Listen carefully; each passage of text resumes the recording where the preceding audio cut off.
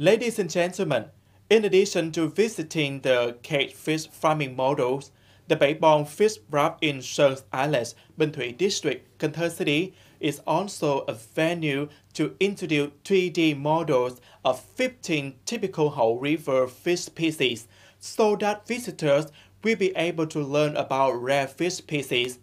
Mr. Lý Văn Bong, the owner, also wished to build a space similar to a little ecological area where tourists can interact with nature.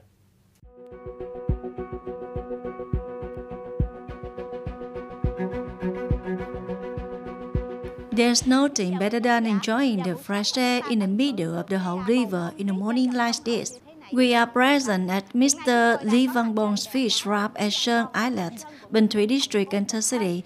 There are up to 30 catch and a wide variety of fish here. Mr. Bảy Bon has researched ways to breed and maintain fish species that are on the verge of extinction. As a result, when tourists visit Sơn Island, this location is one of the most intriguing attractions. What is everyone's job like in the morning when there are no tourist groups coming to visit? Let's take a look right now. Feed the fish, fix the bumpy roads, steam the fish cakes.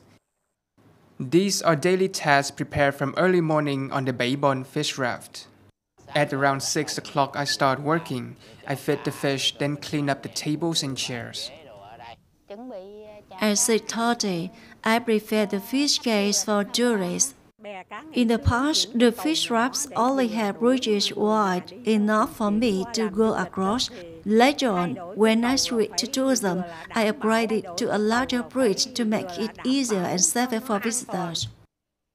Visitors will not only be able to see the fish under the raft, but they will also be able to learn about each variety of fish found in the Mekong River region through precise and meticulous information and models.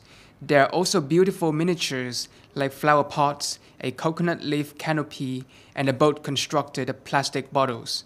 It not only makes an impression on tourists, but it also helps to raise environmental awareness, ensuring that Sơn Islet remains an appealing location for visitors.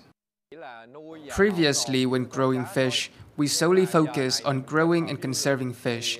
Now we're combining it with tourism, so we have to make a good impression on tourists. Thus, this is a truly green and ecological model. Anyone who goes through here will never forget the breathtaking scenery. This is a very beautiful and natural environment. Coming here, I was really excited and hoped to have the opportunity to return to Thơ.